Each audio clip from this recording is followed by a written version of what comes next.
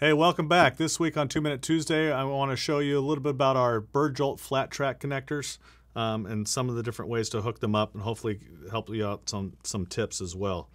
Uh, we have three different connectors here for you. We have the straight connector when we want to connect two pieces of track together.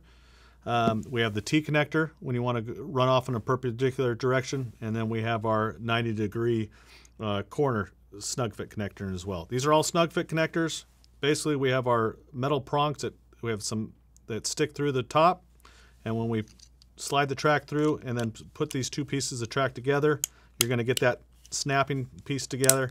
Once you hear that snap you know it's you have a nice nice tight snug fit. Um, I don't like to glue this down until after I get that nice tight connection. Um, and then I can put a bead of glue down afterwards and, and, and set it down and set up.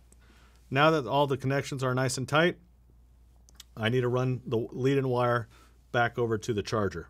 To do that, I have a you know this 14 gauge copper lead-in wire has the two wires embedded on it. Splice it down, put our two blue wire connectors on each end here, and it has a nice flat side that we're going to be attaching directly to the male prongs that are on the top of these uh, connectors here. Uh, since it is electrical system, we need a nice tight connection. This is the weakest portion of the system, so we want to crimp these down and have a nice tight fit. If it's too tight of a fit and you can't get it over these prongs, you know, easy way is just take a flathead screwdriver, open it up, loosen it up, and now we now we can get it over these male prongs here. So we got that side. Now we can jump from track to track or bring it over to the to the charger as well. And basically, we also have these uh, straight these power connectors that we crimp onto the ends of these wires and these go onto each terminal on here, tighten it up, and you have a nice secure system. For more help on installation tips, uh, please check out our website or give us a call at Bird B Gone. Hope you enjoyed this week's Two Minute Tuesday.